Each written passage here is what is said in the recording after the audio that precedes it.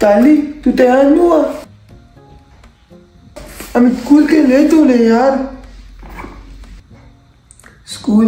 हमें स्कूल जाके क्या मिलता है यार? अगर स्कूल नहीं जाएगा तो डिग्री नहीं मिलेगी, डिग्री नहीं मिलेगी जो दौब नहीं मिलेगी दौब नहीं मिलेगी तो कोई बाप अपनी बेटी हमें देगा ही नहीं। खुदा का वास्ते तू पहले थ्री इडियट्स देखना छोड़ दे। नहीं, सच में यार, अगर स्कूल नहीं जाएगी तो डिग्री नहीं मिलेगी डिग्री नहीं मिलेगी तो डॉप नहीं मिलेगी डॉप नहीं मिलेगी तो लड़की तो बिल्कुल ही नहीं मिलेगी। और तुझे तो पता है, हम लड़कों की एक ही तो तमदोरी है, वो है लड़की। लड़की? वही लड़की ना, अगर जिससे तू दिन में 24 घंटे में से अगर 20 घंटे बात ना करो तो माइंड करके बैठ जाती। अरे मेरी माँ, मुझे थोड़ी देर सोने तो दो। नहीं, कहती क्या बेबी बेबी आज हम फ़ोन ऑन करके सोएँगे मुझे तुम्हारे खराटों की आवाज़ बड़ी पसंद है। अरे मैं बड़े खतरनाक तरीके के खराटे मारता हूँ। मैं कोई आधी रात को उठ के राहत फतेह खान नहीं बन जाता हूँ। स्कूल स्कूल वालों को खाली एक ही मकसद होता है, कि बच्चों के दिमाग में प्रेशर मेंटेन करके रखना। उन्हें सब्जेक्टों में इतना बिज़ी कर देना कि वो किसी भी किस्म की out of the box creative thinking सोच ही ना सके।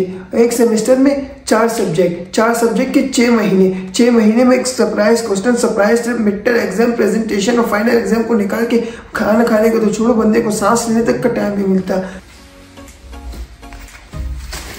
रोज सुबह उठ के राइज एंड शाइन करके स्कूल जाओ, वहाँ सी वहाँ रोज सुबह उठ के राइज एंड शाइन करके स्कूल जाओ, वहाँ अपनी आठ घंटे की पढ़ाई करो, वहाँ से फिर सीधा ट्यूशन आओ। ट्यूशन से जब बंदा घर आता है, सारी दिन की जंग करके थका आ रहा तो उसको अपना नाम तक याद नहीं रहता। फिर क्या? सो जाओ, उठ जाओ और रिपीट करो। तुझे पता है, हमारी जनरेशन को गुड स्टूडेंट का नहीं गुड रोबोट्स का टाइटल देना चाहिए था। और हमारे पेरेंट्स अभी बच्चा पैदा भी नहीं हुआ होते, पहले से ही सोच लेते कि मेरा बेटा बड़ा होके इंजीनियर बनेगा। अरे मेरे भाई, उसे एक सेकंड चेंज की सांस तो लेने दो। नहीं और तीन तो फ़ील्ड हमारे पेरेंट्स को पसंद है। डॉक्टर इंजीनियर लॉयर कोई चौथी फ़ील्ड तो मुझे बता दे, मैं अपना नाम बदल के रख दूँगा।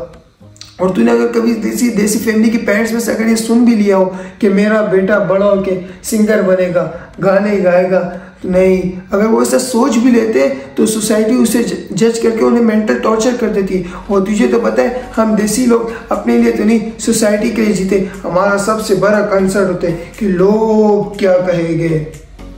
अरे चार्ली बेटा, ये तुम क्या कर रहे हो? अगर रमेशा आंटी ने देख लो तुम्हारे बारे में क्या सोचेगी? अरे रमेशा आंटी को मेरा लास्ट नेम तक नहीं मालूम है और ये सारे स्कूल वाले क्लेम कर रहे थे we are the best we are the best we are the best what watching student तू मान ले मेरी, अगर इन प्रिंसिपल्स के आपस में अगर मीटिंग्स भी होती होगी ना तो क्या कहते होंगे? अच्छा इस साल आपके साथ कितने रोबोट से तेरह सौ। बस, हमारे साथ तो इस मंथ को मिला के पूरे पच्चीस सौ रोबोट से अरे मेरे भाई स्कूल का मकसद डिग्री लेना नहीं होता है। स्कूल का मकसद होता है एजुकेशन लेना। नहीं, लोग पागलों की तरह डिग्री के पीछे पड़े होते तभी तो बाहर जाकर देखो, लाखों की तादाद में तुम्हें बेवकूफ़ ले जाएँगे। सारे डिग्री लेते हमारे स्कूल में स्टूडेंट कम और दिमागी मरीज़ ज़्यादा नज़र आएँगे मेरे भाई। और कभी तो इनकी मिशन स्टेटमेंट निकाल दे मेरे भाई।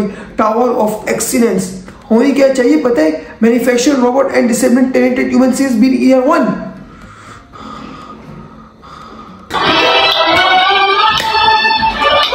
अगर मेरा बस चले ना तो मैं इस करंट एजुकेशन को उठा के बाहर फेंक दूँ? बाहर बाहर फेंक दू? ऐसे लोगों को जो ऐसा सोचते इतने ज़बरदस्त स्कूल है हमारे। इतने ज़बरदस्त टीचर है हमारे। हमारे वाह वाह वाह वाह